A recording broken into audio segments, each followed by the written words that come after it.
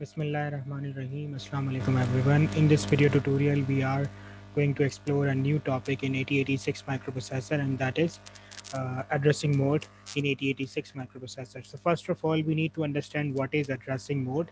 Uh, addressing mode can be defined as it is written here, which the ways which can be used to access the data or operand uh, in microprocessor or in microcontroller or in embedded system uh, data is normally known as or termed as operand right? Whenever we use the word operand operand means we are referring to the data right? So the ways by which data or the operand can be accessed is known as addressing mode. I mean there are a number of ways by which you can actually use operand or data.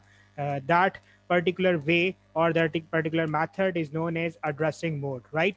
Operands can be two types, right? Either source operand or destination operand, right? It is written over here that uh, operand can be source operand or operand can be destination operand, right? So we need to understand what is a source operand.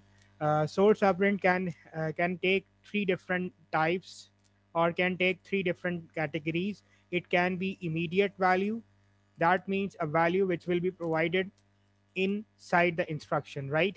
Or it can be memory location or it can be register or it can be input right? So source operand means uh, the data source or the operand source right? Uh, the places which can be used as a source for data or operand are mm, there are basically four possible alternative and those alternatives are immediate value. That means value will be provided inside the instruction itself or value uh, source could be a memory location. That means your operand or data is present in some memory location and you need to use that specific memory location right? Or operand or data may be stored in any internal register so you can use that register as a source right? Or there can be a fourth option which can be input. That means there is an input port uh, at which data is coming or the operand is coming so you can use that input as a source right? So in source operand uh, whenever operand is being taken from a certain source so you can have only these four possible alternatives right? Similarly there is an option of uh, of uh, destination operand right? How desti- uh, operand can be destined right? Or where possibly you can send that information or data or operand to store right we can actually store information in memory location. We can actually send some value to register or you can use the output port to send the data right? Or to send the operand. So for the destination purpose uh, operand can go only to these three locations memory location register lo- register or output right? Uh, here you need to be careful uh, here that immediate uh, value is not an option for a destination because immediate value something is provided. And when we say provided we, we means uh, we are going to be a source right? While in destination there is no concept of source. Uh, so destination value destination operand can never be an immediate value.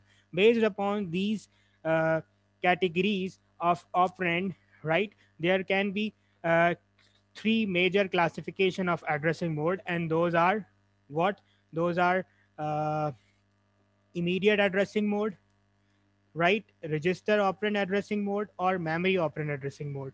So uh, based upon the operand type, uh, what kind of operand we are using, either it is immediate or some memory location or some register, right? So addressing operand can be classified into these three categories. Uh, one is known as immediate operand addressing mode, other is known as register operand addressing mode, and mm, the third one is memory operand addressing mode. In coming tutorials, we will be considering their examples and their definitions. So uh, in this tutorial, that's it. If you have any confusion or query, you can post your confusions in comment section. Thank you so much for listening.